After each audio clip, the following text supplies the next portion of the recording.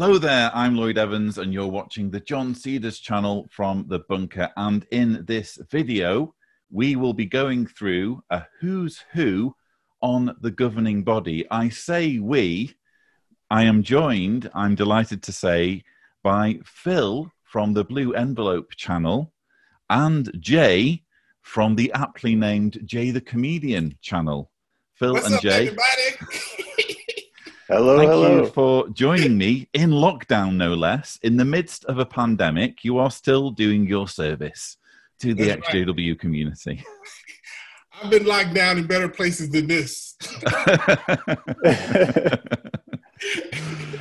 so no, seriously, it's um, it's good of you to set aside some time, albeit you're kind of a captive audience, aren't you? I suppose, in due to circumstances, but it's nevertheless nice of you to uh, go through this with me. And Phil, obviously, this is sort of what you do on your channel anyway. So, um, if viewers haven't already checked out the Blue Envelope channel, there will be a link in the description. Phil, can you run us through what you've already managed to do in terms of research projects? oh, sure. Uh, well, let's see. I've done a little bit. I started off with uh, Anthony Morris from the governing body and did a couple of videos on him. Just That's that's just an obvious one to start with, isn't it? You know, it was. you, It was you've a just favorite. got you've got you could write volumes on that man, couldn't you? In fairness. Indeed, indeed, yes. How So much I, I drinking was involved in that research? Did you not as much for Phillips? As needed. Brilliant. So you've you Yeah. started with Tony Morris. Tony Morris, yep. And then uh, I did one a little while back on Mark Sanderson, and uh, most recently uh, was talking, looking at Steve Lett, Stephen Lett a little bit more. Sure. The face himself. R- all rubber face. So we're going to try and summarize some of your research on Stephen Lett in this video because what I've decided to do, I've decided to do a two-parter. There are currently, as we speak in 2020, if you're watching this in the future, uh, first of all, well done for surviving.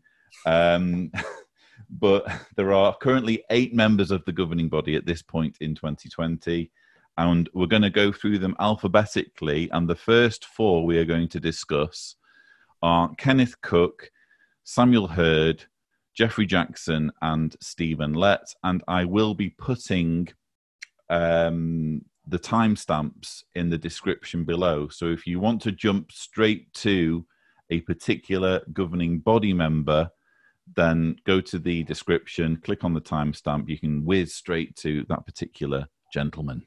So let's start off. It's my turn to start, and we'll start with Kenneth Cook.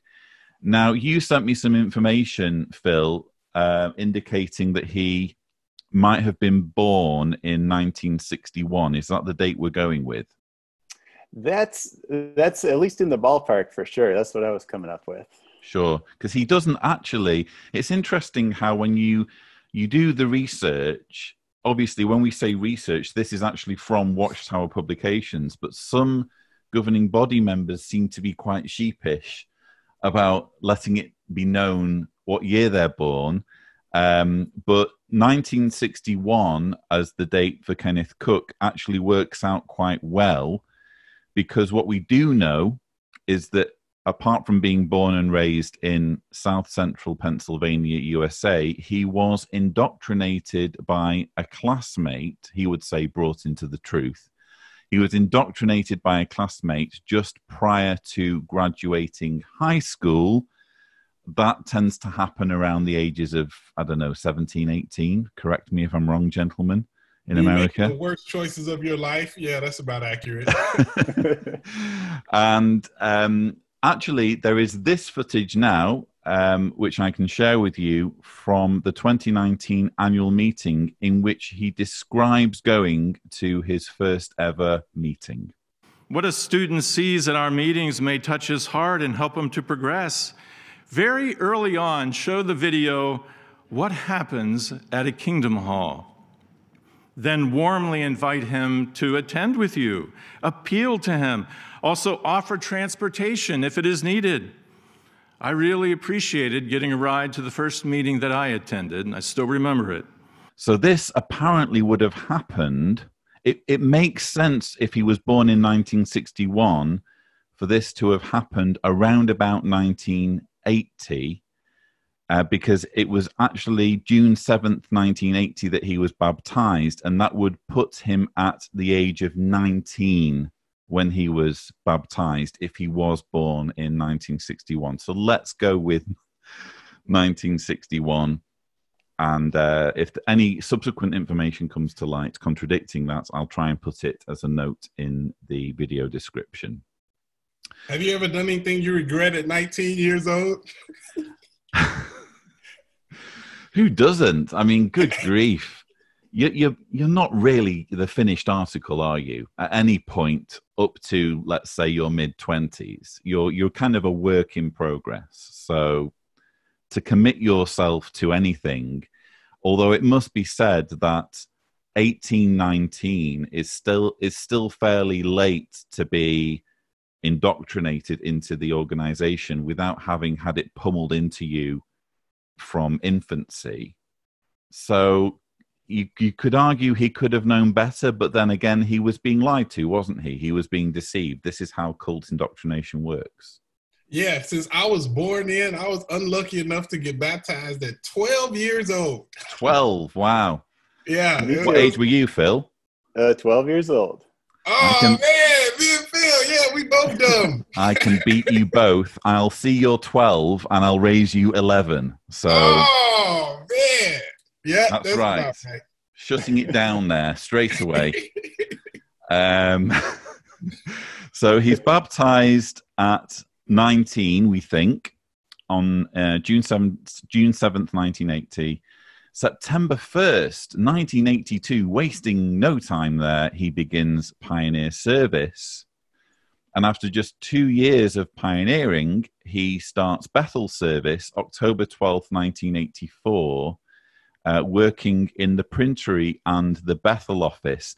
Now, here's the thing, uh, Jay and Phil, I don't know what you think, but when I was pioneering, it was always like a temptation in the back of my mind to get out of the dreariness of pioneering by oh i'm going to go to bethel i'm going to be working in the house of god and at least i won't have to trudge around people's houses do you think that might have played some part in his decision making there for sure that was my exact train of thought i, I never liked pioneering so much it was the road to bethel yeah was the plan anyway well, I, I, I never I never pioneered. I'm gonna be honest with you. I absolutely hated field service. I never liked any part of it. So I definitely but and but I funny enough, I did consider going to Bethel. Of course, I knew the steps I would have to take to get there, and the least of which was be pioneering. So I'm like, oh, I don't know how I'm gonna figure that out. But the reason I wanted to go to Bethel is because whenever somebody in my neighborhood or my Kingdom Hall went to Bethel, they were considered almost like celebrities in my congregation. It was like, oh, you're going to Bethel? Or like I hear mothers, oh, my son's going to Bethel, or or you know, he, I'm like, wow, I, I want to be a celebrity kind of. Maybe I should go to Bethel and you know, I thought you go to Bethel, you make a ton of money, and you know, you, you're on the high road to becoming one of like the service members or something. You know, like that I always used to think that. Uh, I learned a lot afterwards, mm. but yeah, I, I kind of wanted to go to Bethel, but I guess for selfish reasons. Yeah, I, I think. Look, if you're going to pioneer, two years to me suggests okay. Year one, you get your pioneer school, and he's literally just pioneered for one year after pioneer school. So it uh, seems to me to be want, knowing precisely what route he wants to take. It seems, at least. Um, 1996, he marries his wife Jamie. Uh, 2009, December, he transfers to Patterson. It's a little bit unclear where he is when he starts in 1984. I'm going to guess it was Brooklyn, but it could have been Wallkill. That part is unclear from the article that I was reading, which is the article where it's announced that he's become a governing body member. Uh, so he transfers to Patterson in 2009, begins working for the correspondence department. Now, this was an interesting one. I don't know what you guys thought, But when you work on the correspondence department, you are, shall we say, more exposed than perhaps in other departments to TAT. You're going to have a lot of letters inbound where people are complaining about child abuse, complaining about shunning, bringing up United Nations, bringing up Mexico, Malawi. If you can get through that assignment and develop a reputation, as it were, for putting out fires, that's a pretty good start. Well, I always look at it as if you could get through that stuff and you mm. still remain a Jehovah Witness, it's like, wow, you know all of our secrets and you're not going anywhere. All right, yeah, come on, you can take a step up. it, it seems like an obvious tick in the box if if your trajectory is aiming towards governing body. Would you agree, Phil? I, I would say so. That's a definite mm. box to check. Obviously, we're not told what his wife was doing. We can only assume not the correspondence department. Um, almost certainly something fairly menial. You know, we can only assume. Um, 2016 April, he's transferred to Brooklyn. Again, I don't know whether that was back to Brooklyn um, or to Brooklyn for the first time, but he wasn't there for long because, as we all know, um, the fall of 2016 saw the Brooklyn Bethel family transfer over to Warwick. And 2018, January the 24th, takes us to him being announced as a governing body member. And I can only say that when I heard the announcement, it came as a total surprise, only because even though by that point I was fairly familiar with quite a few names of governing body helpers, his wasn't one of them. His was one where I don't think at that point he'd even appeared on camera. So we didn't even really know what he looked like. Um, and since then, he's obviously appeared on JW Broadcasting. He's appeared on a few morning worships. He was on, obviously, the 2019 annual meeting, unveiling the uh, the year text for 2020. And maybe I'm being unkind here, guys, but for me, he's not a very um, charismatic speaker. He he doesn't exude sort of personality. He kind of has the appearance and stage presence of an accountant. Quite frankly, um, maybe I'm being unkind. This is one of those moments where I would just love to be a fly on the wall to those other guys that you did know about because I'm, I'm sure they're like, "What? Him? Yeah you don't even know do I even know him. I'm, I'm, the one out here taking all the punches and stuff. Mark Noumair going, "Damn you, Kenneth Cook! Damn you!" exactly. yep. Yep. Have I been unkind though in characterizing him? I mean, I just I find his presentations incredibly tedious. Not really much to to talk about. I, which I suppose is a welcome change from the likes of Stephen Lett and Anthony Morris. But he's certainly not got a very compelling way of speaking, in my view. No, I, I would agree. I think he kind of got there more by just climbing up the corporate ladder a little bit. And you kind of see that with Mark Sanderson too when we get to him next time that not right not so much the charisma was what got him there. I'm wondering whether that's a little bit deliberate, though, because you, meant, you mentioned Mark Sanderson. Um, you could argue the same thing is true that I said about Kenneth Cook, kind of looking and sounding like an accountant. In a, in a way, the same is true of Mark Sanderson. Mark Sanderson, for me, has got a more compelling, slightly more seemingly heartfelt way of talking but he's still fairly predictable. I mean, I'm working on, as we speak, I'm working on my rebuttal to his latest JW broadcasting. And for, the, for large parts, you can just skip right through it because all he's doing is just regurgitating stuff that we already know. And I'm wondering whether this kind of predictability, this sort of plainness and ordinariness, is almost deliberate because if you have characters who are long standing members of the governing body, they're not going to want to be outshone by newcomers.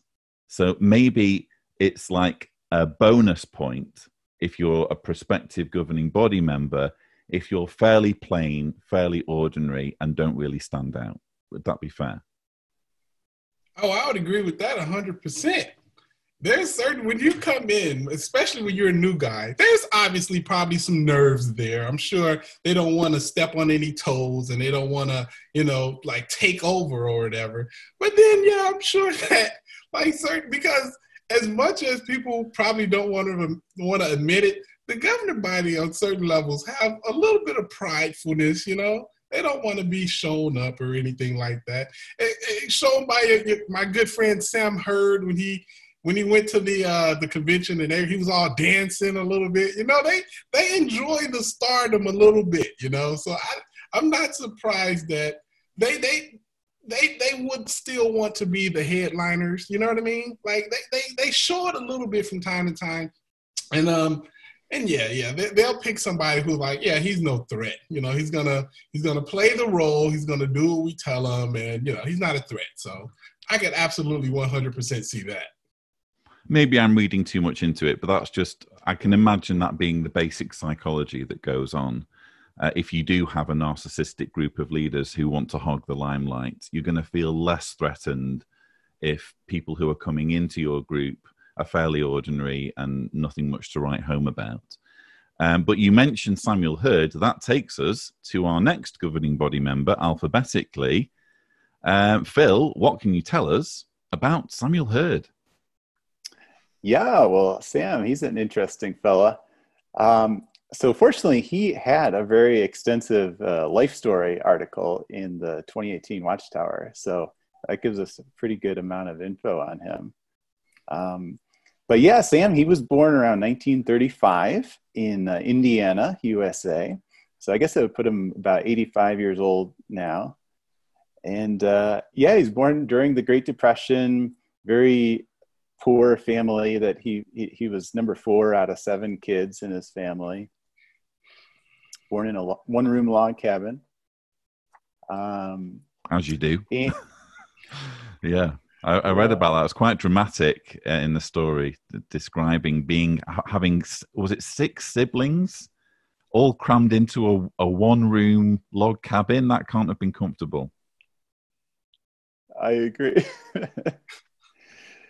and he mentions too a little interesting tidbit about his dad that his dad was quite a bit older. Um, his dad was 56 when he was born, whereas his mom was only 35. So um, I was just kind of kicking around that if his dad was that old in in 1935, he would have been born in 1879, the year oh, the Watchtower started being published. Good catch, Phil. Good catch. wow. Yeah, so I don't know. Yeah. Wow. Does that does that mean that uh, Sam Herd is the same generation as Charles Taze Russell? Evidently, brothers. Evidently, that's exactly what it means. I can't think of more compelling evidence for that. So yeah. oh wow! I, I, can tell you from uh from my neighborhood, whenever we see Sam Herd, because like of course I went to a predominantly uh, black Kingdom Hall, and and you know I lived in a predominantly black neighborhood. Sam Herd was the the one guy we're like, look, we have a, a black governing body member. Look at that. You know what I mean? Like, and it was it, everybody. I promise you, this was said a lot, and this is from active Jehovah Witnesses. We are like, okay, they put them there, you know, you know, they kind of had to, you know. I heard that so often in in my Kingdom Hall, and, and this is not like from people who left organization. This is people inside the organization who are kind of like, uh, yeah, Sam, yeah, yeah, governing body, yeah, uh-huh. And and I always found that quite funny and quite interesting. But um and even like even in his picture, the governing body picture, he's the one person with like the different color suit on than everybody else. Uh, he's always been just a very, very interesting character to me. And uh, and the Black Jehovah Witnesses that I grew up with, we always looked at him and we would just point out, yeah, see, this organization is nothing racist about it. Everybody's uh, loving and and look, they, we even have a black governing body member, so this makes everything okay. And you know, it was uh, he's always been one of the most interesting governing body members to me personally. Which is potentially the conclusion you were supposed to draw potentially when he was selected. I'm just going to put that out there. Yeah. Um, but anyway, you were telling us about um, Sam's parents, Phil. Indeed, indeed. So, right. So he wasn't uh, raised as a witness. His family was Baptist when he was young. Um, he, he, mentions he had a little stint as a boxer in his high school years, um, but he says I wasn't very good. So he kind of pulled the plug on that. But he did do a few bouts, which is interesting, given the fact that professional boxing, at least, is a disfellowshipping offence. Um, obviously, he wasn't a witness at the time, but it's nonetheless interesting that that forms part of his story. Indeed, indeed. So after that, he um, after he graduated high school, he was uh, drafted. This was the period from World War II to Vietnam. Everybody had to. There, the draft was going on, so he was in the army from uh, 54 to 56 uh, over in Germany mainly. Wow. Yeah, yeah. there's actually an interesting quote there from the article, and there's a similar quote that we'll come to um, when we're doing Geoffrey Jackson. Every now and then, laced within these guys' stories, is like a needless piece of information that seems to have inserted been, seems to have been inserted for no other reason than to impress people. So we get it. He was drafted into the army and served in Germany for two years. But he just had to mention in his story while I was serving there, that's in Germany, my superior sent me to a non commissioned officers' academy thinking that I had natural leadership abilities. they wanted me to make the military my career. And he goes on to say that, you know, basically their plans didn't work. But that just seems to me to be a needless piece of information. I, am sure that all three of us would would there are things about what happened during his time in the army that we, we would be more interested in than that piece of information. But he seems to have put it in to impress people that even at that stage in his life, people were looking at him and pointing the finger and saying, This guy's a leader, you know? Yeah, I want to hear the story about how he led his platoon against the Germans and raided the like like what? No, uh, it wasn't in World War II, Jay. He he wasn't storming the Normandy beaches. This, oh, was, oh, okay, my bad. Let's just yeah, for the purpose of being factual, it was was it fifty four to uh yeah fifty four he was drafted in and 50, 56 he was honorably discharged. So the war was over by that point, Jay. oh, okay, I guess history. he was getting all excited there, thinking about. I was. I was thinking about Tony Morris because I know Tony was like, "Yeah, I was on the battlefield." You were imagining Sam Herd storming Hitler's bunker, presumably for a moment there, but yeah, that didn't happen, unfortunately. Oh, okay, okay. so anyway, Phil, we move on yes, indeed. So he did his time and uh, came back. It sounds like he came back home to Indiana again there. Uh, he mentions he bought a red convertible that he liked to drive around town. Ooh. and uh, but yeah, that's where he first ran into the witnesses in town there. So his one of his sisters had married this fella. So and his so this fellow was his brother-in-law, and then two of the sisters of this guy uh, were witnesses, and they're the ones that first you know they invited him to the book study and he attended. And that's kind of how his he got into the, the witness religion. Uh, and it sounds like he took off from there. He says nine months later he was baptized.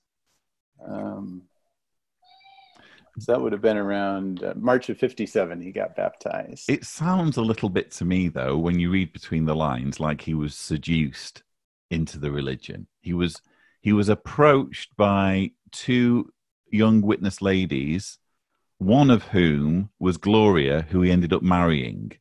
So you're not telling me that there weren't any sort of carnal impulses going on it, it, when he was sat there in his red convertible chatting to these witness ladies who were inviting him to a meeting. You're not telling me that that played no part, you know. Just exactly. How do you go from red drop top Sammy to baptize Samuel Herd in nine months? like there had to be something else there, you know. I think Gloria might have been persuasive in more than just the theology she was encouraging. Oh yeah, oh yeah. I, I know think so. and that I guess I could throw in he has this little uh, cheesy joke about Gloria there, and it's so much reminds me of things my dad would say over the years. These jokes that he would say, you know, a thousand times. My mom would kind of roll her eyes after a while, but he says Gloria was a jewel then, and she is a jewel today. To me, she is like the Hope Diamond, but I don't have to hope in this case. I married her. Jay, do you say similar words, sweet words to your beloved? Uh, sometimes I do. when she's in, when she's in earshot, of course. she's a diamond, and she's the greatest thing ever. You know. but uh, it, it just I've seen this happen before, where um somebody who who will be preaching. Of course, they'll end up having to transfer their Bible study over to a male uh, uh, uh, uh, overseer of the Bible study, but they, they give them the wink and the nod. You know, yeah, come on, join, and yeah, and event it works. I've seen it happen. Hmm. So uh, yeah, that that that happens, and I can see him now. Uh, I wonder if he's still got that red drop top. You know. Goodness knows whether that's in a Bethel parking lot somewhere. I would imagine that's no longer in his possession, but It may be in the in the museum. It's gonna come in the museum one day. in a, in a spiritual heritage museum, one day that will pop up. Um, so 1959, he marries Gloria, Phil. He does, yep. And uh, he says they applied to Bethel almost immediately because uh, they had just started taking married couples there recently. But uh, he found out that you needed quite a bit of seniority to uh, to do that. Um, I thought it was kind of just a little random trivia that he interviewed with this brother Simon Kraker uh, to go to Bethel. And interestingly, because Simon Kraker's his life story is published as well, and he also got married in 1959 but that was the difference was he and his wife had like 100 years seniority at bethel already so they could stay Yeah, that that actually reminds me of something too. Um, I remember there were like certain women at my Kingdom Hall who didn't enjoy the dating pool at my Kingdom Hall, and they had like somebody they would like, but they weren't Jehovah Witnesses. So they would actively go extremely hard to make sure they were brought into the congregation, and and yeah, it it. it that's that's another way that dating would take place. At least in my congregation, uh, sisters would not like the dating pool. They'd find somebody outside of the organization and they do their darnest to get them to come in. And uh, is that what happened with Sam Herd? Are, are you telling us, Jay, that sisters in your congregation didn't like the pick of men in your congregation, even though you were in the congregation? Is this a moment of brutal honesty on your part? Especially because I was in the congregation. I probably drove them away. Like, really? This guy is nuts. This is the best we can do. I got to do better.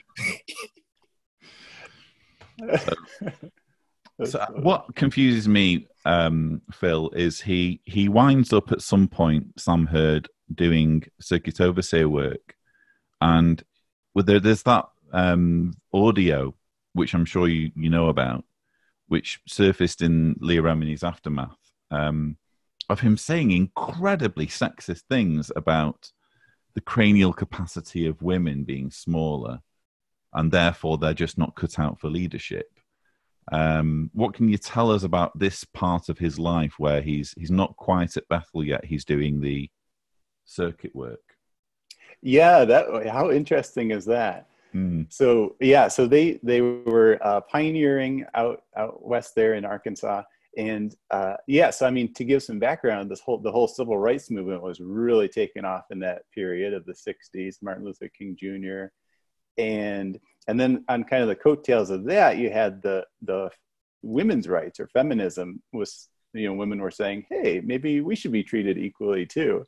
And uh and that's kind of when you see the so the article in the awake about women having smaller brains and all this crazy stuff was i think that was in 1967 they published that. And then a few years later uh, i think jw facts puts it at 71 was when sam gave that infamous talk which I'm sure he now regrets. Given the fact that it's been on national television. You know, scientists say that the cranial capacity of a woman is 10% smaller than that of a man. So now this shows that she's just not equipped for the role of headship. Her role is one of subjection to the man. Her role is that of submissiveness, and that means that she should recognize that she is a woman and be glad to be a woman. Never want to be what you are not equipped to be. But we'll hear a sister say, oh, if I were an elder, I'd show them a thing or two. Or sometimes we hear them say, oh, if, if, if, I were a man, I'd do this and I'd do that. As if to be wishing to be something that he's not be. Do you know what that borders on? That borders on homosexuality. And you know what the devil is doing nowadays? He's taking women who want to be men. He makes men out of them. And you know what else he's doing? He's taking men who want to be women, and he's making women out of them. And it's spreading. It's not a little thing. But homosexuality is something that is spreading, and it's all over the earth. It's not just here, San Francisco and Oakland, but it's everywhere. But it all begins with a thought. Somewhere, individuals have wanted to be what they are not designed to be. And they've nurtured that. Will never voice the thought of wanting to be what you're not cut out to be. Be glad to be what you are, woman. Your role in the earth is a beautiful role that Jehovah God has placed you in. I, I always wonder if he ever like you know his wife got mad at him and he'd come home. And he basically just say hey honey did you take care of this? And then she's like oh i'm sorry. My small mind forgot to take care of that honey. Like, you can just throw it in his face because there's no way i would ever get away with saying that about a woman. I have nine sisters so I would get punched right in my face if I made any suggestion that because they have a smaller head, that they're somehow less intelligent or less capable of doing things. Because if it was that, if that was true, why don't elephants rule the world? Because they have the biggest head on the planet. I just, I just don't get that line of thinking at all. Well, what's interesting, I don't know whether you noticed this, Phil, um, but when you read Sam Herd's life story, there's there's kind of hints in it that he's kind of rather preoccupied, or at least at some point in his life, was preoccupied with the concept of of being macho, of men being macho. He didn't like. I'm just trying to find the quote here. Here we are. Um, under the heading "A New Life Begins," it says, "Up to this point in my life, I had learned to be somewhat macho. The idea of what a man should be." As presented in the movies and the social environment influenced me a great deal. To my way of thinking, preachers were not manly enough. Um, but I began to learn some things that turned my life around. And he goes on to say that um, he he came to consider that, oh, that's right. Um, when I think about my old macho attitude, I am glad that I learned what the Bible teaches about real manliness. Jesus was a perfect man. He had strength and physical power that would make any macho man pale in comparison.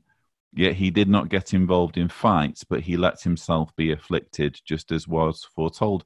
I don't know. It even when he's kind of explaining how he corrected his thinking, he's still kind of hinting at this preoccupation with you know manliness and being macho and butch um which i don't know it, it seems fairly irrelevant quite honestly Indeed. It, it just struck me as like a huge blind spot he seems to have because so much of his life story is about encountering racism and segregation and you know trying to overcome that justifiably so of course Mm. but then when it comes to women and men being equal he's pulling out these arguments about well they're not physically equipped to lead and they need a superior human to uh, you know, exercise dominion over them.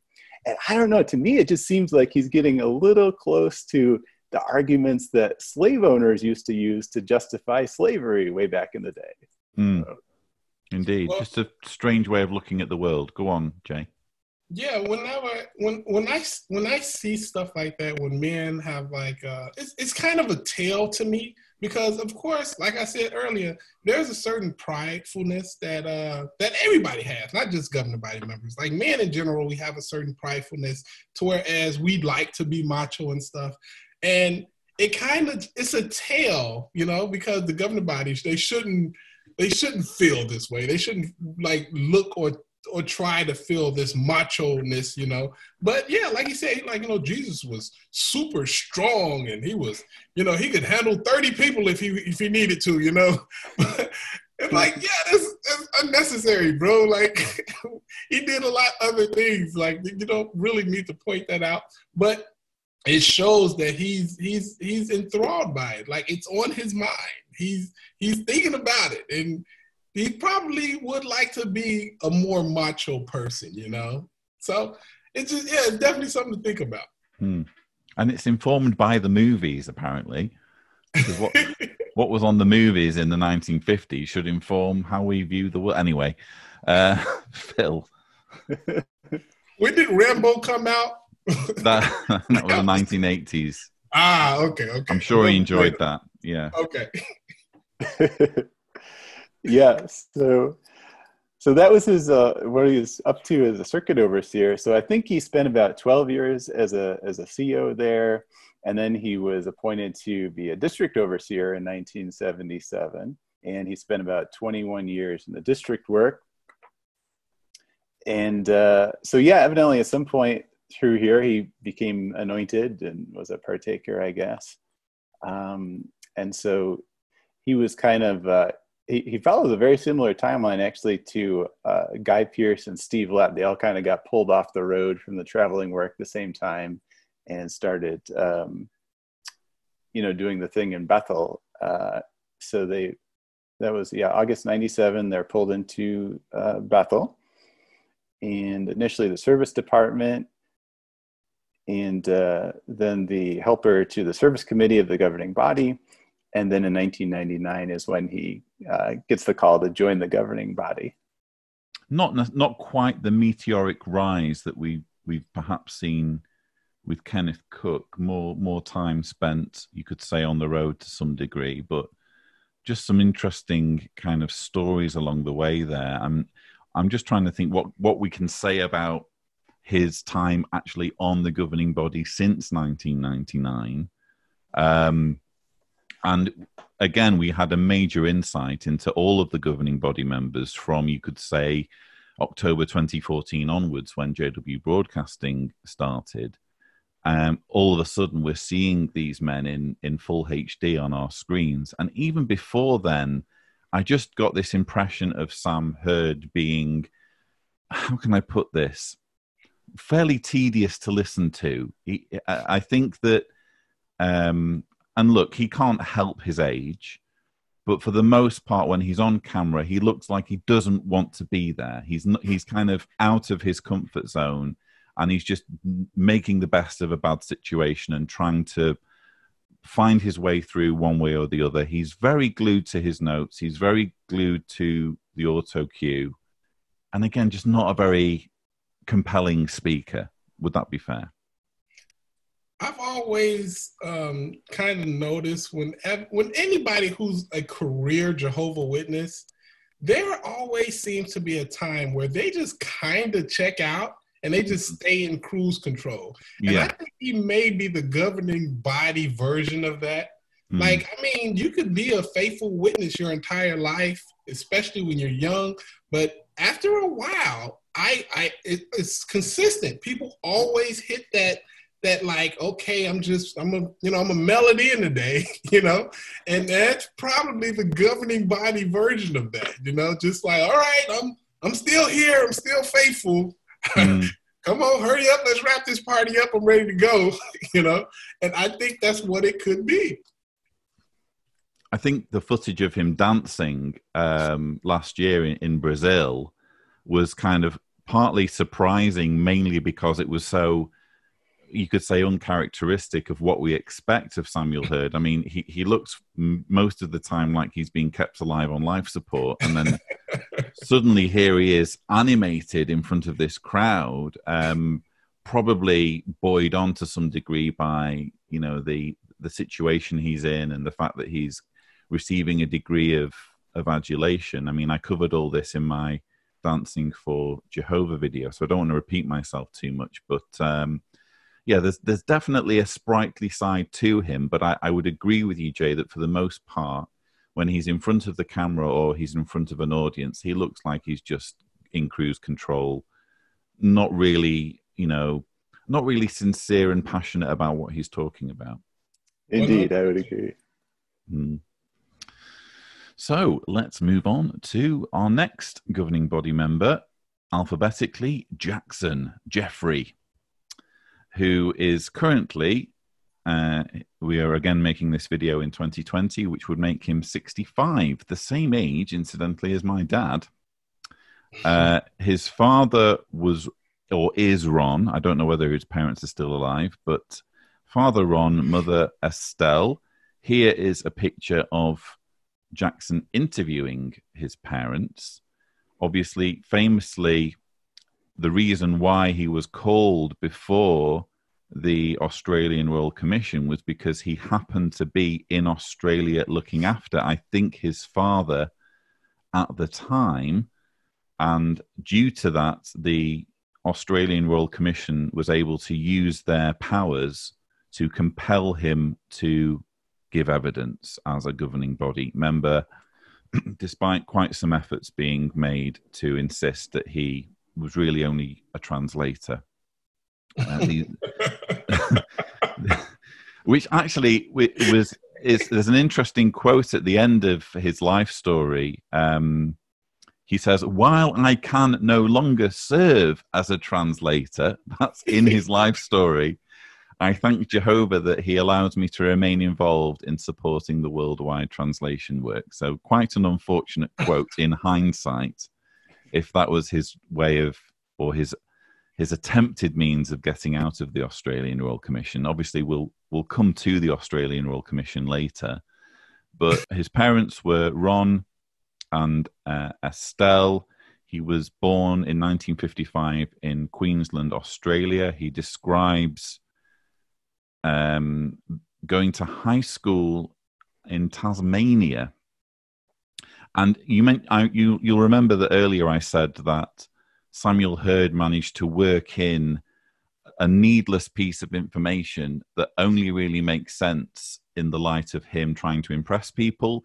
There's a similar piece of information in Geoffrey Jackson's life story where he says, In high school in Glenorchy, in the island state of Tasmania, I won several awards for academic achievement. it's like, no, high school certificates, they're not really that impressive, Geoffrey, but okay, we're impressed. Um, I got an award for uh, for participation. I got a trophy for participation. Uh, I got a, uh, uh, I did 15 sit-ups in a row. Nobody else could do that. I got a certificate for that. Uh, I, I, jumped the highest out of the class when nobody else could jump because their knees was hurting. Uh, I got a certificate for that. he, he does seem awards aren't important. He does seem keen on mentioning awards and certificates because when he's talking about beginning pioneering, he says, "So with my parents' consent, I left school and started pioneering in January 1971 at the age of 15, having received." the required school certificate. So, okay, okay, Geoffrey, we get it. You like awards and certificates. um, I noticed he threw in uh, at the end there about having several uh, books published as well. He does. He mentions that. Uh, maybe we can show viewers now. He he mentions at the end that he had a long personal project starting in 1979, uh, taking him about 20 years to compile a list of Tuvaluan words and their meaning. So you could say that of all of the governing body members, he's the only one who's actually a published author in, in terms of actual books that are useful to people. Um, so yeah, kudos to. I mean, obviously, the whole reason why he did why he did this project was as part of his work of trying to recruit people into a cult. Nevertheless, it could be argued that the knowledge from his research is transferable to other areas. So we'll give him marks for that. I like how he's like so upfront about all his achievements and how great he is. Yeah. But then when it comes to, you know, him talking to the Royal Commission, he's like, oh, yeah, I'm not that great. I'm just a yeah. translator. I, am a translator. I, I know nothing about all of these rules that you're talking about. Yeah, pretty much. Like, hey, aren't you the leader of like a cult of 8 million people? Uh, yeah, I mean, yes, but, you know. In a manner of speaking.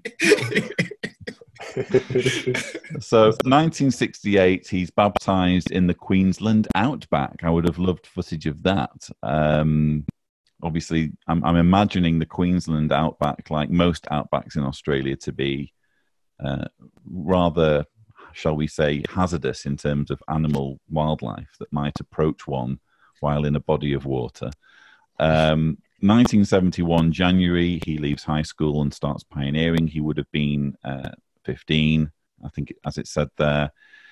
Now, there's a date that he doesn't provide. Um, I don't know whether you are, are, able to fill in the blank here, Phil, but he describes marrying Jenny Alcock, and whereupon they special pioneered together, but he he misses out the date of them getting married. I don't know whether you have that date. Mm, I don't think I caught that. No. Yeah. Okay. That, that's fine. Um, 1979 January, uh, Jenny and Geoffrey uh, start a missionary assignment in Tuvalu, and he starts working on his 20 uh, year project, you could say. 1980, uh, uh, Jenny and Geoffrey are assigned to work as translators for Tuvalu. In 1985, uh, they are assigned to the Samoa branch. In 1996, they are assigned to the Fiji branch, so they're moving around the Pacific, as it were. And in 2003, they are both assigned to Patterson, New York, to work in translation services. And then in 2005, only two years later, quick work, you might say, uh, Geoffrey is appointed to the governing body but but this is to be followed by heartache in 2009 when his wife Jenny dies of breast cancer.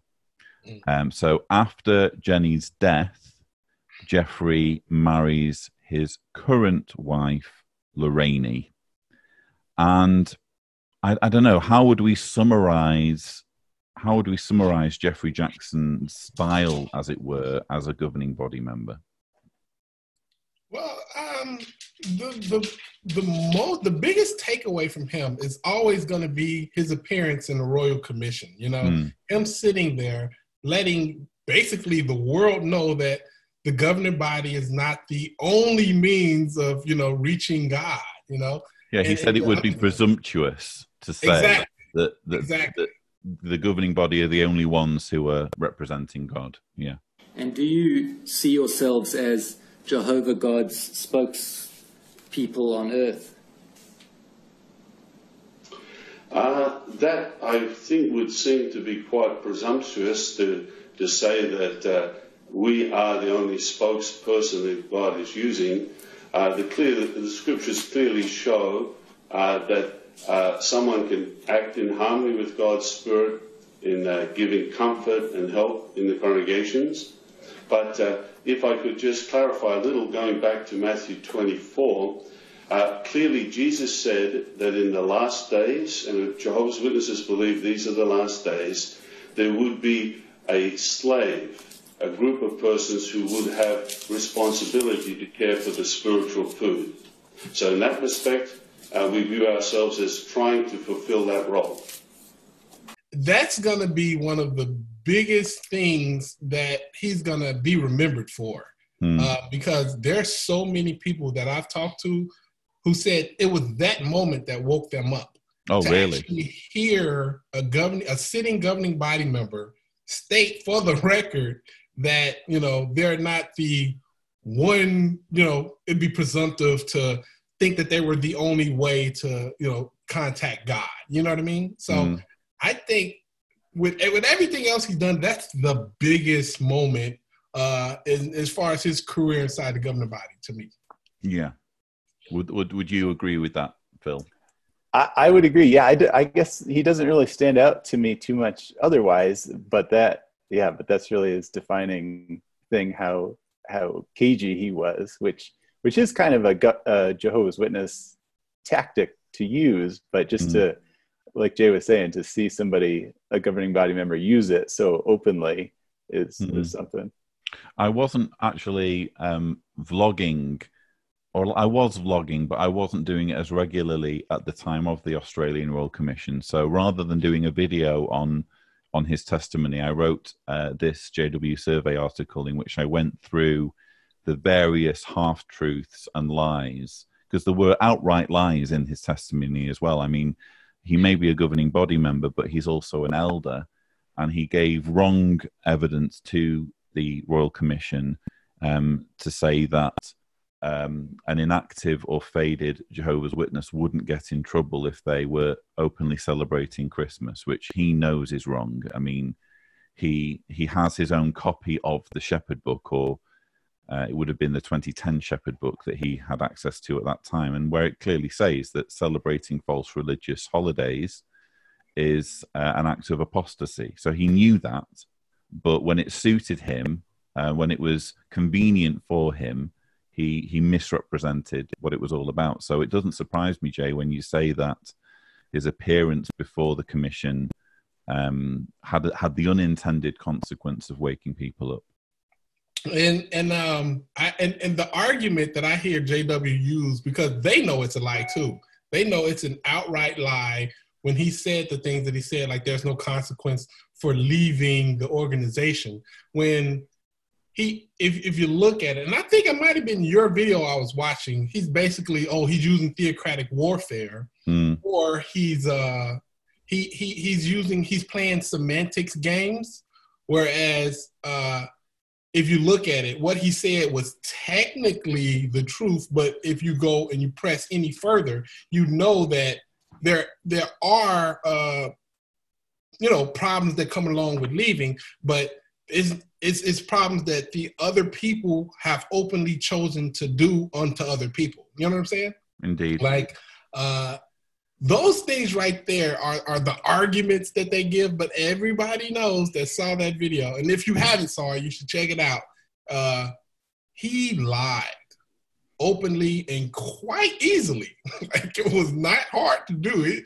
It looked like I mean, it looked like he was like he genuinely felt that way. I mean, I'm like, wait a minute, we we lying that easily now? That's incredible.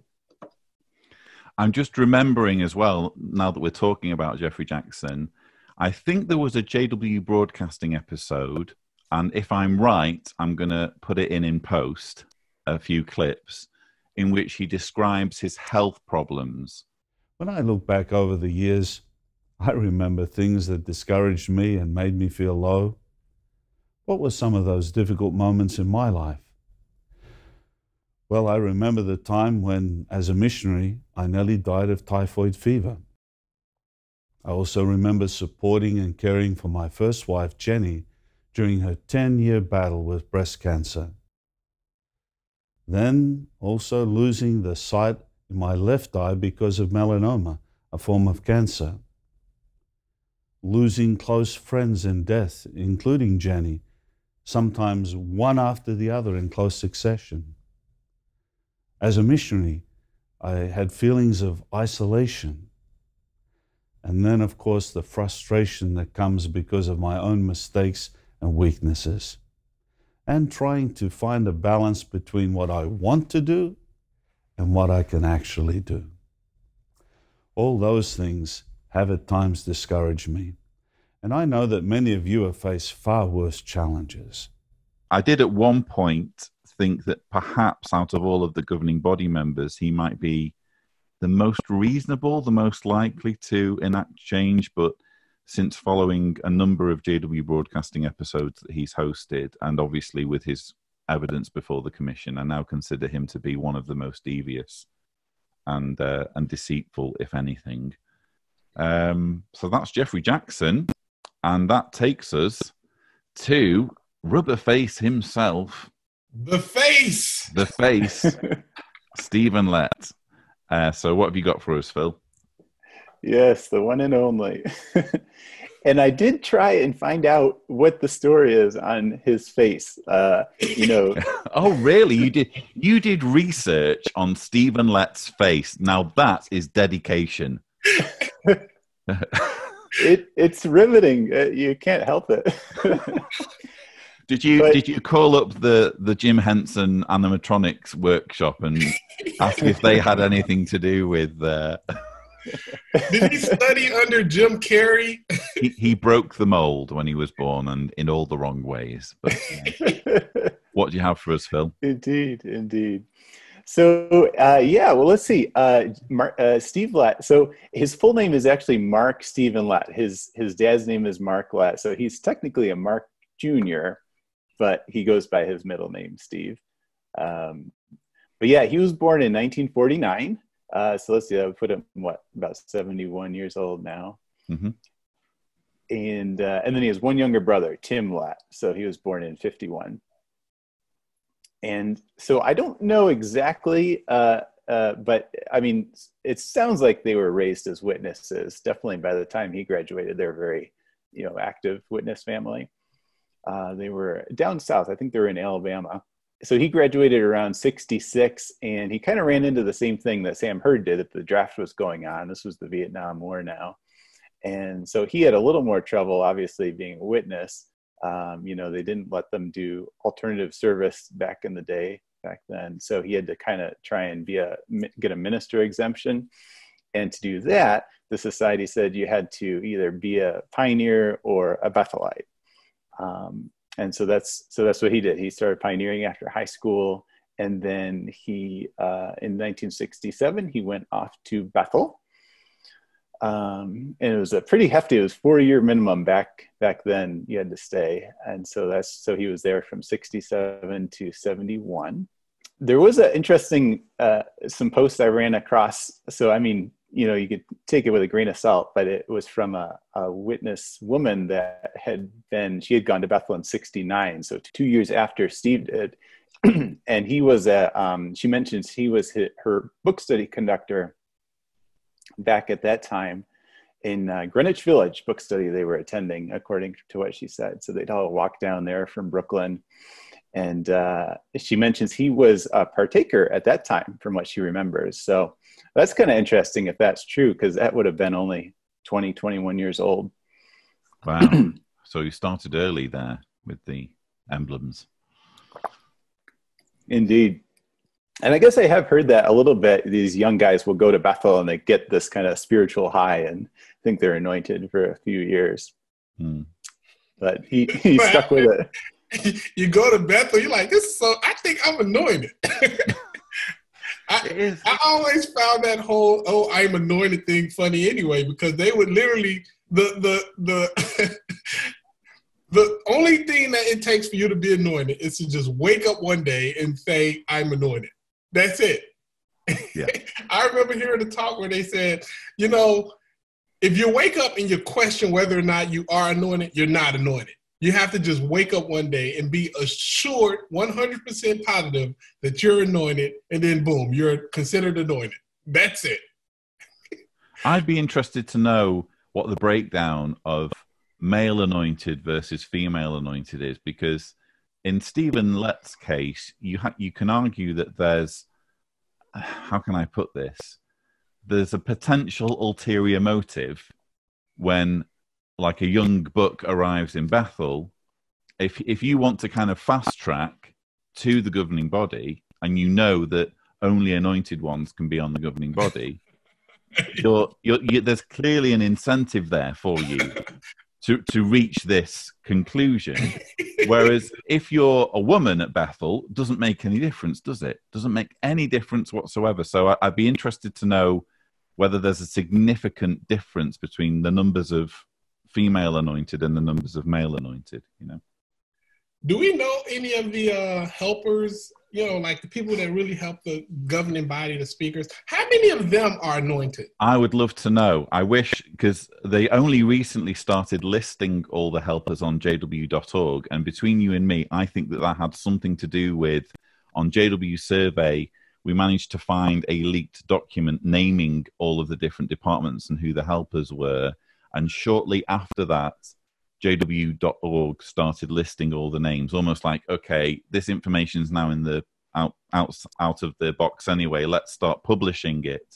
Oh, I would they l- hate you, Lloyd. They hate you so much. Oops. Um, but I, I'd love it if there was some kind of asterisk or something that said where it said, you know, this brother is one of the anointed. They're clearly not going to do that, but it's still information that I would find very useful because then you would know basically who the potential candidates are. Um, so, so uh, Bethel Pimos, we need you to, um, if you could do your yes. let's get those uh, anointed brothers out so we can, uh, you know, just if, if you are Pimo in Bethel, or indeed if you happen to be in a congregation with a governing body helper, and you have inside knowledge to share as to whether they are or are not partaking of the emblems, we'd love to hear from you at JW Survey, and maybe we can start compiling this information for people. Very interesting stuff right there. Yeah. Yeah. Yeah. Sorry, Phil. We we we we digress. no, that's that's great stuff. Yeah. So uh, so that's anyways that's how much how long steve was at bethel the four years. He, he did his time and uh, he got out in 1971 and uh, like it sounds like most bethelites back then he got married almost immediately after leaving. And uh, we we actually do have his uh, wedding uh, announcement from the newspaper. And so that gives us a little more info. Uh, his wife's name is susan. Susan lynn camp was her maiden name and so they were a family from uh, Alabama as well. So yeah, they were. So that was seventy one, and it mentions in the announcement that by that point, his parents and his brother were uh, evidently pioneering in Clarksville, Arkansas. So uh, you know they're doing their thing pre nineteen seventy five. And that's what um, Steve and Susan did after they got married. They became special pioneers and so where you, where you find them is in Illinois the next few years. Uh, Stephen Susan and then his parents were all special pioneers in rural Illinois up through 75. When when Armageddon didn't come. oh, they had to change stuff up a little bit after 75, huh? I wonder why.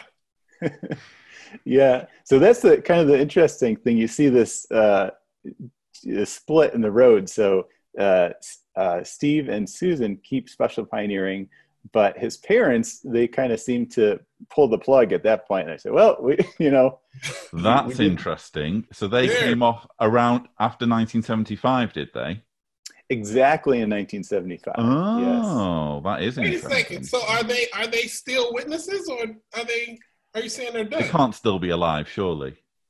Right. So Whoa. his dad, his dad's died in I think '86. Um, As a witness as a witness, as far as I know. Yep. Yeah, so they still stayed witnesses and everything, but they kind of uh, gave up on the. they eased off after eased off. the apocalypse didn't. Took the foot off the gas a little bit, huh? Which is understandable. It must be. Yeah, said. false prophecy kind of has that effect. if, if, only, if only their son had uh, the same sort of wits about him. But, uh, there we go. Indeed, indeed. Do you have any information on why he can't like blink fully? Like he never really fully blinks. Like he is like a half blink, like a lazy blink. I, I, he does. what is that about? That is so weird. it would be interesting to know how. I mean, his mannerisms on the platform are so contrived, and I've even shared footage on on the channel of when he gives like a behind closed doors talk to the audio video department and it's almost like he just dials it down slightly from maybe a 10 to maybe like a 7 or 8 it's it's noticeable that he's just dropping it a little bit with the extreme kind of mannerisms. So um, I'd Can be interested to know how. away all the time. What's that? Sorry. Could you imagine if that's how he always? Oh, you'd burn out, wouldn't you? If, if it was, if it was, um, what's for dinner, honey? You know, you just, yeah, it it would be un- unsustainable to carry that kind of energy all through the day. Um, but I'd be interested to know what the evolution of his um, his persona will be interesting. Indeed, and on on on my channel, I do I did run across a couple of videos of his brother Tim because he he he got into the real estate business, and so there's stuff about him opening restaurants and whatnot. And his brother is is also a very uh, unique character. He looks pretty interesting, but n- not, definitely not the same mannerisms that Steve does. In fact, let me just show you some footage from of his brother Tim. Well, there are 26 Civil War newspapers in the whole building, the actual newspapers. Uh, a lot of history here. Running a restaurant is something new for Lett. Never have. I've built uh, condos and motels and a lot of homes, but I'm getting a learning experience. And the next time he's hungry, Hopefully, I can come in and, and get a steak when I want to, you know? You hope so, if you only. It's interesting to see that facial configuration, but without the just crazy expressions. It's interesting that that might have been Stephen Lett, but something else happened. I think the picture that's on your desk, Lloyd, best describes his face. Definitely, yeah. I, I, I- I find myself watching your channel and looking at you, but I just can't stop looking at that picture right there. What who else does that? You know? It's interesting because usually when you're trying to find when you're doing a thumbnail um, of that's of, of like a particular governing body member, you can't resist finding one where they look a little bit stupid. It's just you know, come on, we, we get we get to you know diminish these men's power in uh, in some way. Um, but with Stephen Lett, it's more a case of how do you find one where he looks normal? Because throughout the entire speech, his face is doing that. It, it would actually be a, more of a challenge to find like a frame of the video where he actually looks quite normal. But uh, yeah, There's times where I'm editing video where I'm talking about Steve Lett. And you know how when you're editing, you don't really watch where you stop the video and you just look away and you're doing your edit. And then you just look back and you're like, that's the Oh, dumbest face. put that away. seen. What is Yeah, that? yeah, definitely. Indeed. That's so funny you say that, uh, Lloyd, because I ran into the exact same thing trying to find a thumbnail for my videos about him, and I, I did finally find like one frame with his where he was looking normal. Yeah. So you're actually more honest than I am, and I applaud that in you, Phil. So Yeah, that's so- his brother Tim. Indeed. So that was where, uh, yeah. So Tim and so Steve, uh, like you said, kept special pioneering in Illinois. There, that's where he ran into the uh, to Tim Manion, uh, Chessa Manion's father. Yes, I'm glad you mentioned that. Yeah, go on. Yeah. So uh, Steve was selling a car back then, uh, a Chevy Corvair, and uh, Tim ended up buying it from him. But Oh, the he, governor body members got some nice cars, man. I- I It's a running Tony got the theme, isn't it? Nice, nice cars with uh, governing body members. Yeah. Okay. Tony had the Cadillac. I know uh, Sam had the drop top red convertible, and he had the Chevy. Okay. It's funny But this is actually works. quite a quite an important story, isn't it? Because this came up in the Witnesses documentary, Yeah. and it really provided a compelling insight into the sort of man he is, didn't it? Yeah, yeah, it did. I, I don't know how much detail you want to go into, uh, so just cut me off. No, go ahead. Go ahead. Yeah. Well, so Steve, you know, of course, he was a good special pioneer trying to make his hours, and he started witnessing to Tim when they were doing the car sale.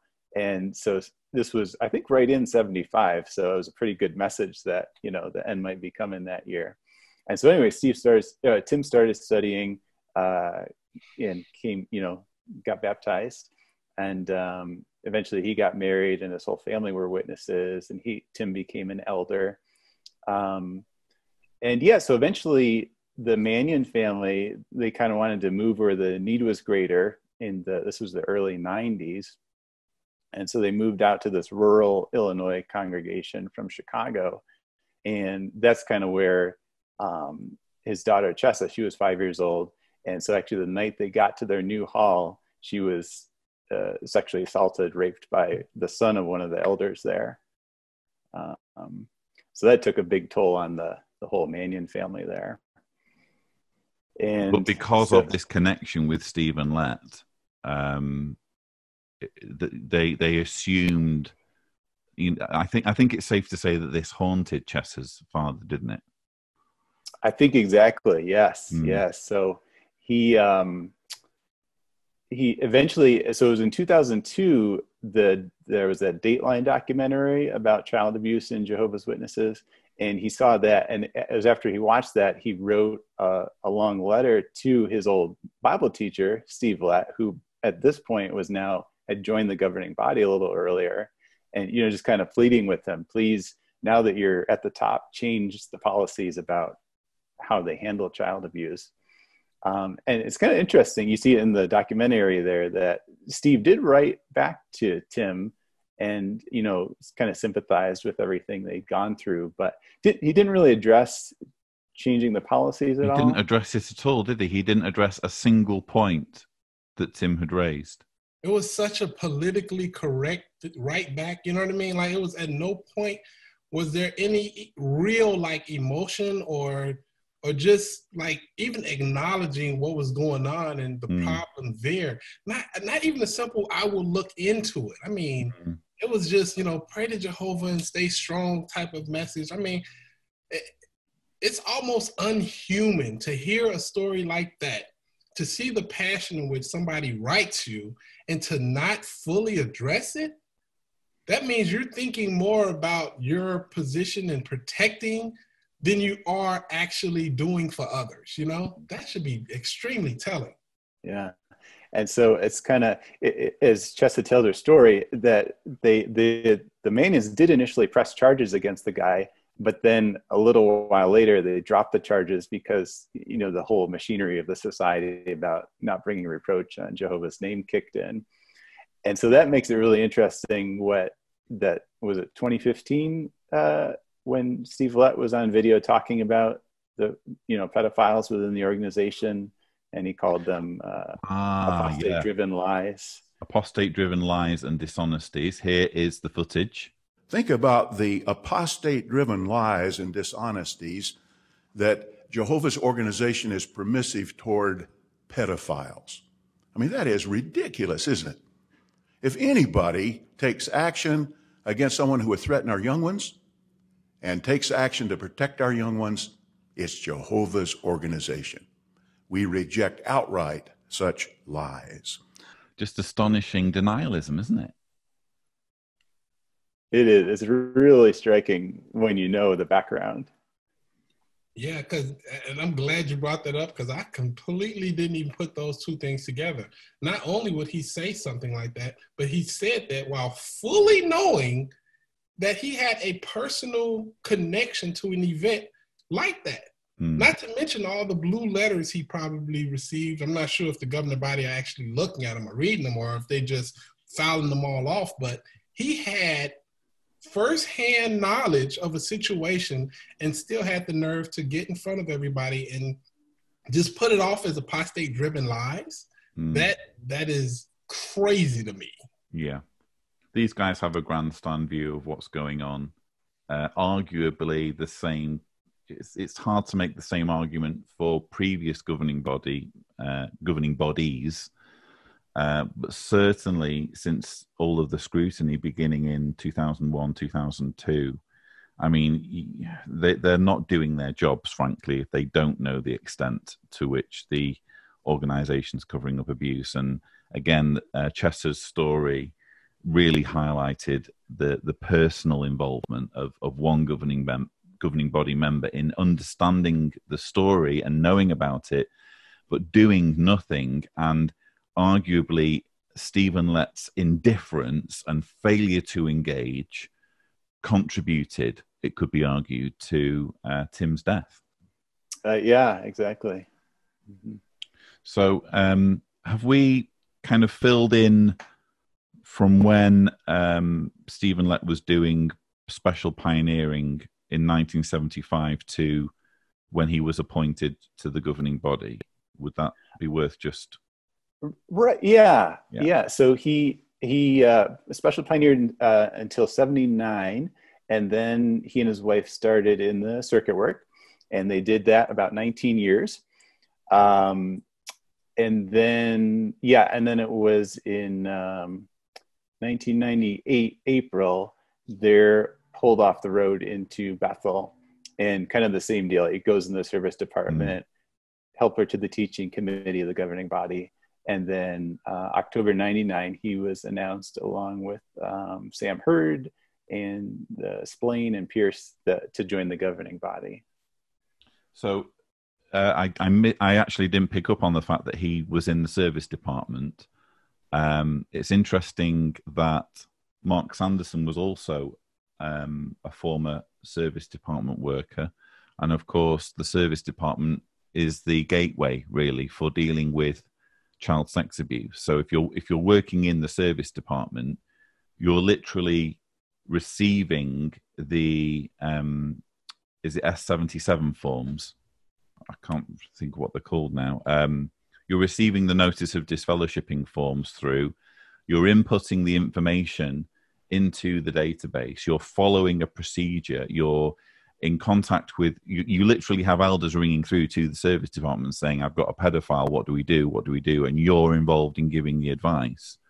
So it's it's interesting that again stephen lett involved in on the front line in this as we're going to find out mark sanderson will have been because he too worked in the service department. Uh, but in, in at least mark sanderson didn't go on camera and say it's all apostate driven lies and dishonesties as Stephen Lett did. Hmm. Sam Herd also, he was in the service department. Oh, was he really? We missed that one. Okay. My bad. um, I'm starting to see more and more people in the service department that are uh, anointed. Is that a, a, a, a, necessary step to get to the service department? Well, it, it's it goes back to what we were saying earlier about um, the correspondence, uh, which uh, Ken Cook was involved in. Again, it's you're in a situation where you are deflecting criticism and you are seeing the very worst of the organization in the kind of feedback you're getting from people writing into the organization. That's that was the case with Kenneth Cook, um, and with Stephen Lett and Sam Herd. We have a situation again where they're seeing the ugliest side. I mean, we're talking about like lifting up the rock and seeing all the creepy craw- crawlies un- un- underneath when you work in the service department. That describes Stephen Lett and Sam Herd. We're seeing, I think, uh, a theme, aren't we, of, of what it takes to be appointed to the governing body. You have to see, to some degree, the organization at its very worst and be okay with it. You know, it reminds me. I, I, I don't know if you remember that part of when you uh the Watchtower. Uh, no, not the Watchtower. Uh, the show called The Witnesses, right? The documentary. Yeah.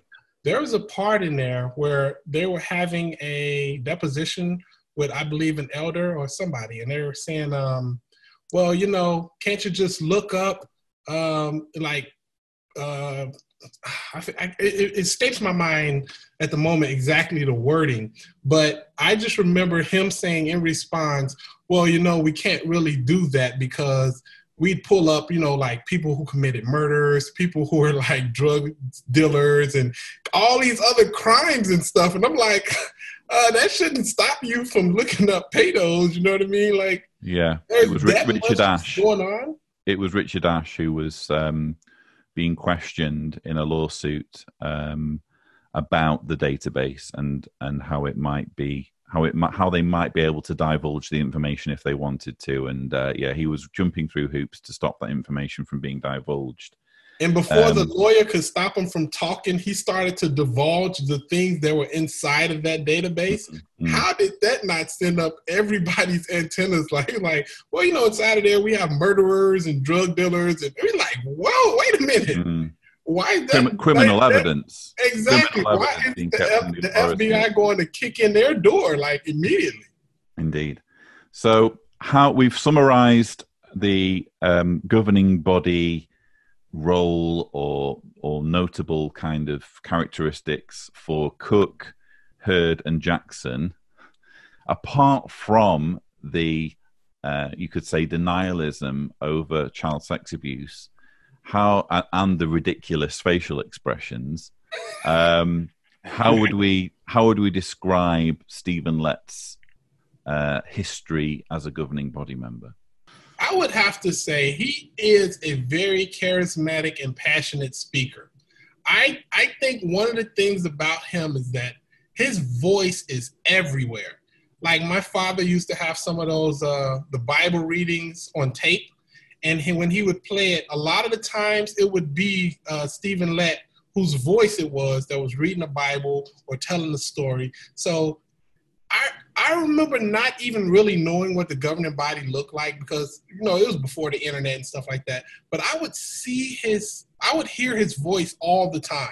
And even though he would be at an assembly, I, I never really remembered people's faces. You know, I could, I always sat in the back of the assembly. Like we could never really get there early enough to get the upfront seats, so I could only kind of barely see his face. You know what I mean?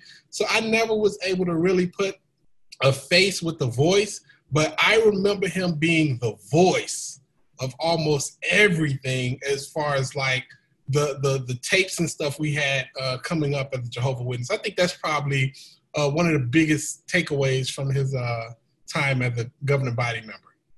Phil, what are your overriding thoughts of of his uh, history as a governing body member?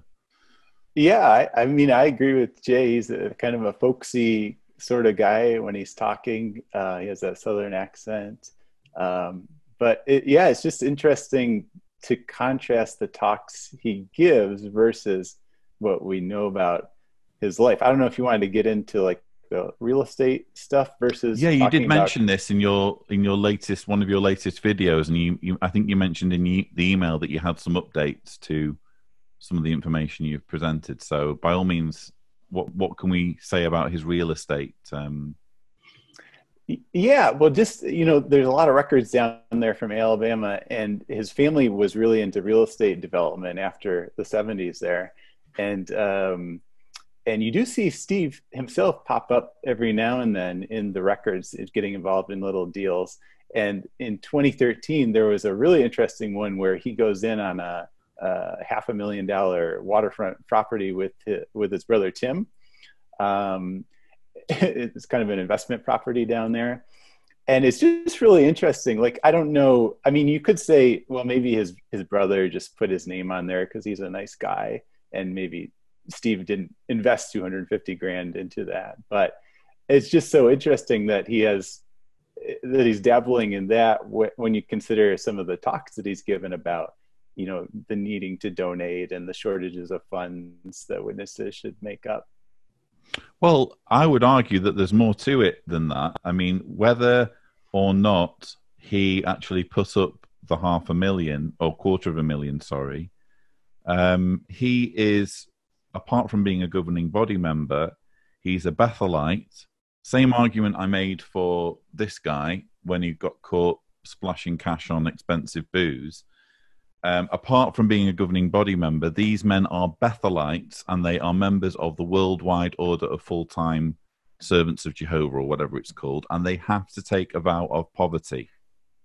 And you're not telling me that this vow allows, number one, spending nearly a grand on whiskey in one in one go, or being involved in expensive real estate transactions. If if this rule can apply to Stephen Lett or to Tony Morris in the Bottlegate uh, case, then it should also be applicable to all Bethelites. In other words, that how how is there a, a vow of poverty applicable to ordinary Bethelites that somehow doesn't apply to the governing body? And uh, if the rules on the vow of poverty are being flexed so much that he can be involved in real estate to the extent he is, in what other areas is the vow of poverty being you could say, skewed in their favor? It seems pretty easy to do. Because even with Tony, I mean, they, they they find a way to argue it away. Like there's always a another reason as to why it's okay. Oh, you know, they're, they're, they, he gives them away. He gives the bottles away because there's some type of event going on. I'm like, yeah, all right. or, and, and, I'm sure he's like, oh, well, maybe, you know, I put my name on it, but it's for the organization. Or, you know what I mean? Like there's always an, a, a, scapegoat, you know, something that they can say to make it okay. You know, I've always noticed that. Yeah. Do, do you find that interesting, Phil? I mean, I even if you find a way for this to be all above board and witnesses watching this could say well he, as long as he's not breaking the law of what business is it to anyone nevertheless these guys are bethelites they've they've taken a vow of poverty. What does that vow of poverty actually mean if they can be involved in real estate transactions? Uh, right exactly. Yeah. And i mean you do hear stories over the years of uh, Bethel, you know, rank and file Bethel guys. Uh, I think do they call it G jobbing, where they kind of do weekend jobs to mm-hmm. earn a mm-hmm. couple hundred bucks, and uh, and the society seems to crack down pretty hard on that periodically. So yeah, it's just funny. There's kind of two different standards for the at the top. Indeed, well, that's what it boils down to. It's double standards. It's you could say corruption.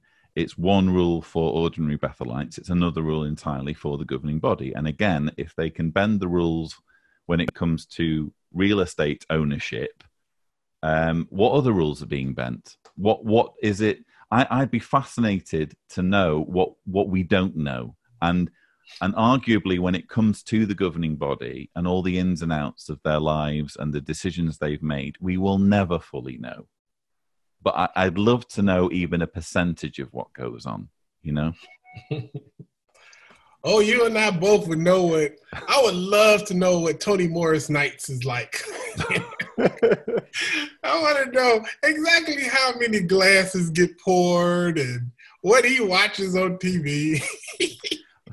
In all seriousness, if you can be that sloshed on a on an annual meeting platform, goodness knows what state he's in when it gets to like nine, ten o'clock in the evening. Oh, absolutely.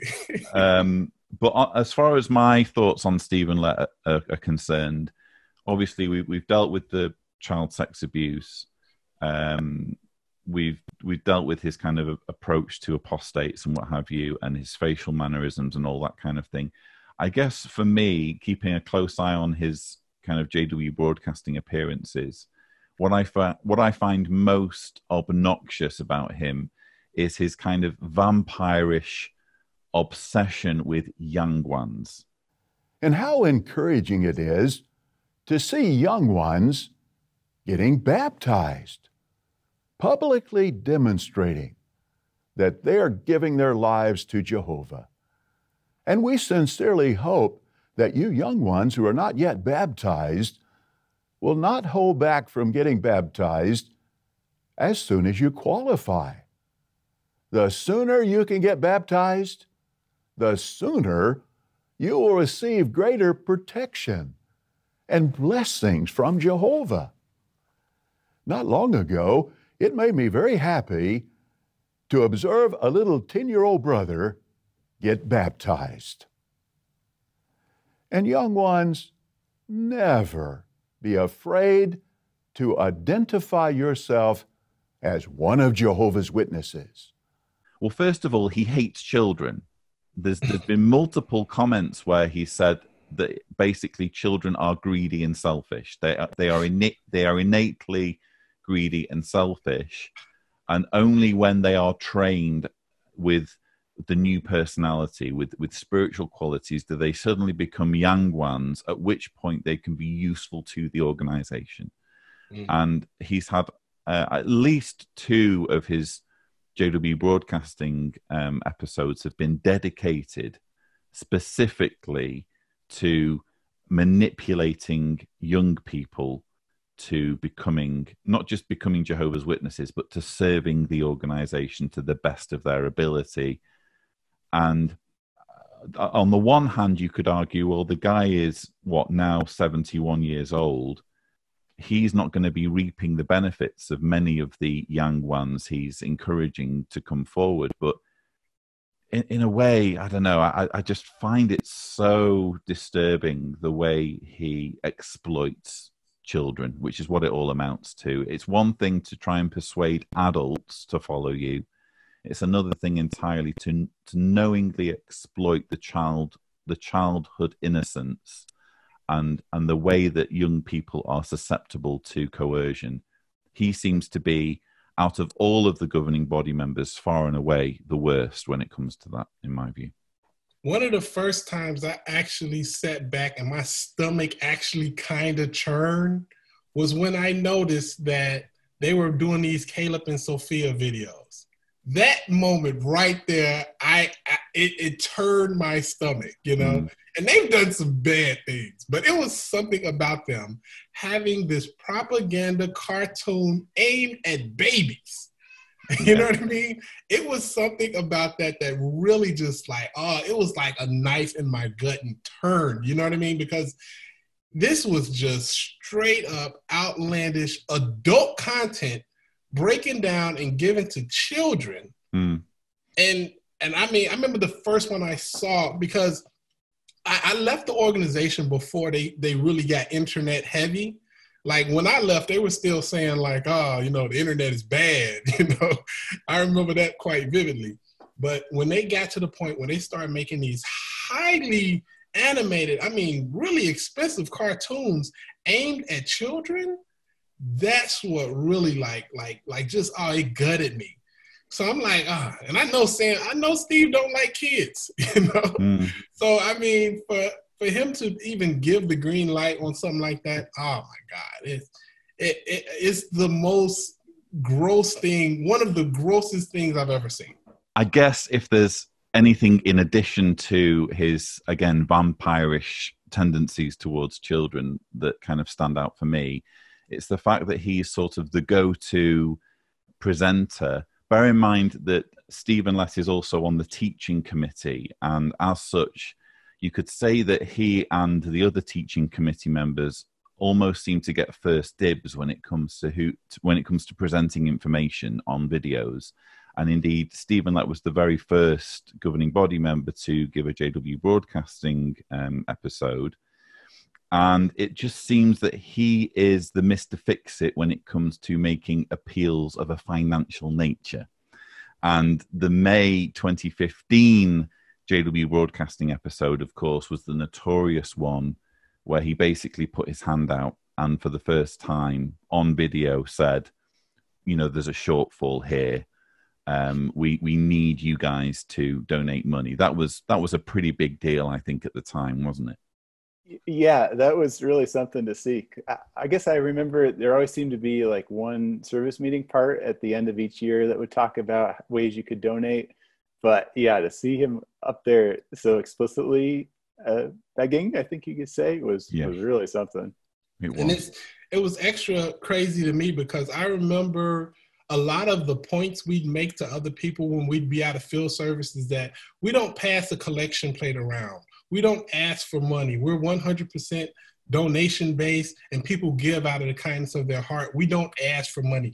I remember saying that at the door so many times. I remember hearing that over the stage so many times. So it was a, a big shock to actually hear them ask for money. Like, whoa, I'm like, when, when did we get to this part of the conversation? I don't remember that.